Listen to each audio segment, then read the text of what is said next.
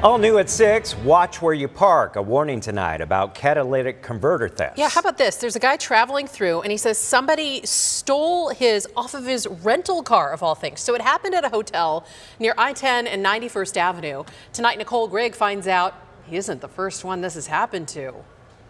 And when I, you know, turn it on, like the engine revs up a little bit. It, Dallas Schwab says he knew right away why his rental car wouldn't start. you could see where the pipe was supposed to be. The catalytic converter was stolen from the rental car while visiting a friend in the Phoenix area. He tells me the car was parked right outside his hotel room. Dallas says that he tried to see if there was surveillance video of the entire incident. He says he was surprised to learn that the hotel told him that they don't have security cameras here. The manager said that they have a camera out front that's pointed at the entrance, but they don't have any in the parking lot. Tolleson police telling us that this is the fourth report at this Fairfield Inn and Suites by Marriott.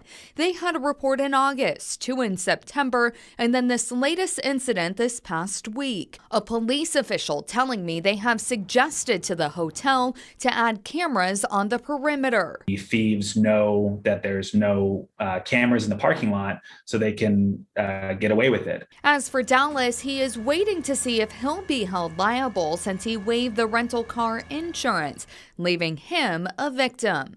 So, you know, the hotel says, come stay with us. This is a great place. The car rental company says, we're going to make it easier. But then when push comes to shove, and I've been the victim of a, of a crime, and I'm asking, like, you know, I guess I'll be liable, but can anyone help me? Can anyone, you know, say, say anything besides sorry? Reporting in Tolleson, Nicole Grigg, ABC 15, Arizona.